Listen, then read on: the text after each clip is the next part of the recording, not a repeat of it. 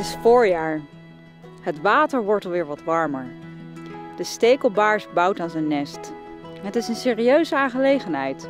Er wordt gesjouwd met planten en andere visjes die in de buurt komen worden verjaagd. En dat kan er soms ruig aan toe gaan. Het vrouwtje volgt het mannetje op afstand en legt de eitjes in het nest.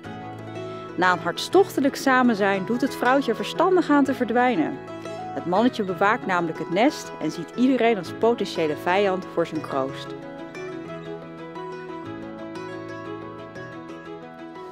We weten eigenlijk nog maar weinig over het leven onder water. Neem bijvoorbeeld de stekelbaars.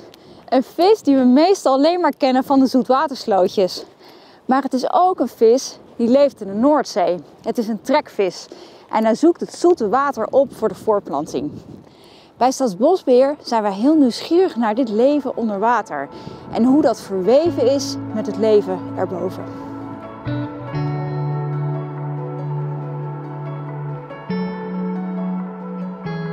Hier hebben we daarom een fuik gemaakt die ons helpt het aquatisch leven in kaart te brengen. We meten op vaste tijden welke vissen langskomen, in welke getalen en op welk moment. Niet alleen op deze plek. In het hele Waddengebied wordt onderzoek gedaan naar vissen en migratie. De vissen zijn op hun beurt voedsel voor vogels. We zijn natuurlijk ook nieuwsgierig naar hoeveel vogels hier komen om te eten en vooral ook wat ze eten. Dat is super belangrijk, want de Waddenzee is ook een onmisbaar gebied voor miljoenen trekvogels. Om meer te weten te komen over wat er zo aan onderzoek gedaan wordt, ben ik naar Texel gekomen en heb ik afgesproken met mijn collega Paul Rutte. Dag Paul. Hey Marieke. Hi. Oh, ik vind het altijd geweldig als ik hier kom. Dan kom ik zo aan met de boot en dan meteen zo'n vakantiegevoel. En jij werkt hier. Heerlijk, ja, super. Ja. Ja. Nee, ja, zoals het uh, tij het de Waddenzee vult en voedt en eh, elke weer die verandering meebrengt, is prachtig. Waarom hebben we op deze plek afgesproken? Ik heb je meegenomen naar een van de fuiken hier in de Waddenzee. Ja. En eh, we willen graag meer weten over dat onderwaterleven. Want dan kunnen we ons beheer daarop an- aanpassen, kunnen anticiperen Ja. en we kunnen de juiste keuzes maken. En eh, in zo'n fuik wordt ook jouw stekelbaarsje wel eens aangetroffen. Ja. Maar bijvoorbeeld ook een zeebaars. En dat is een soort die tientallen jaren geleden heel weinig voorkomt en de laatste jaren steeds vaker in die fuik terechtkomt. Omdat het warmer wordt. Precies. Ja, ja. Omdat oh, de temperatuur interessant. verandert. Ja. En wat doe je nou uiteindelijk met informatie die dit oplevert? Hoe gebruik je dat in het beheer? Daar heb ik een heel leuk voorbeeld van. Daar kan ik je mee naartoe nemen. Oké, leuk. Ja.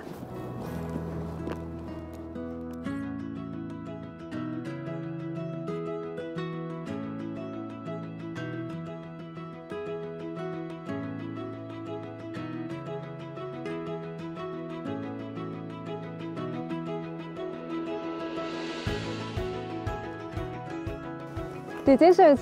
Kijk Marieke, dit wilde ik je laten zien. Dit is een vistrap voor eh, ja, met name stekelbaarsjes.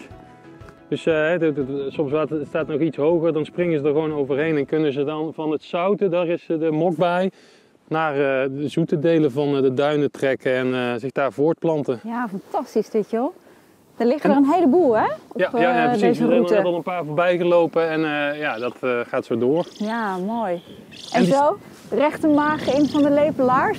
Precies, precies, dat wil ik zeggen. Die stekelbaarsjes, dat is natuurlijk weer voedsel voor de lepelaar. En die combinatie tussen onderwater en bovenwater, dat is zo waar we het voor doen. Hetzelfde geldt voor de, de kokkels die door de kanoeten worden gegeten. Die beesten die moeten duizenden kilometers vliegen en die komen hier opvetten. Dit is gewoon niet van elkaar los te zien. Dat is waar we ons eh, voor inzetten. Dus jullie richten je niet zozeer op om één soort te behouden, maar meer om een systeem in stand te houden. Ja, zeker. Kijk, niet alles kan hetzelfde blijven. Het Waddengebied is gewoon een heel veranderlijk gebied. Eigenlijk, zandbanken liggen elke dag anders. En eh, als je dan kijkt naar zo'n stekelbaarsje, dan is binnen dat systeem de zoet-zoutovergang iets wat hij nodig heeft. En dat zijn denk ik de punten waar wij in ons beheer ons op moeten richten. Zodat je dat systeem kunt dienen. Maar niet alleen voor die ene soort, maar ook voor die lepelaar en ook voor de kanoet en enzovoort.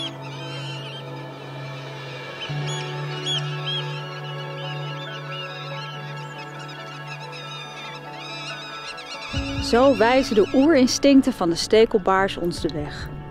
We willen weten hoe het ruilt en zeilt in de Waddenzee. Hoe vissen, schelpdieren en vogels met elkaar leven en elkaar nodig hebben. Want als we dat weten, kunnen we veel beter dit prachtige natuurgebied beschermen. En niet alleen dit gebied, maar ook andere natuurgebieden, tot diep in Afrika aan toe. Dat maakt mij wel extra trots om voor Staatsbosbeheer te werken. Dat we in een lange traditie staan, die natuur in Nederland en ver daarbuiten overeind probeert te houden.